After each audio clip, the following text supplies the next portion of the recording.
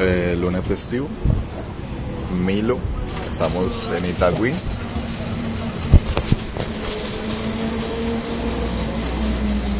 Ciclovía.